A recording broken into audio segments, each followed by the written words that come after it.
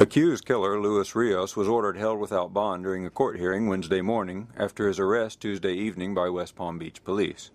Rios is accused of shooting 42-year-old Jose Antonio Cruz Feliciano just before dawn Saturday at La Raza bar in West Palm Beach. Two of Cruz's nephews were also injured in the shooting. Police say Cruz was talking to a woman in the bar when Rios got into an argument with him. A witness told police that Rios left through a rear door, pulled a handgun from his waistband, loaded it, and walked to the front of the bar. There he confronted Cruz and his nephews, began shooting, and then ran off. Cruz died at the scene.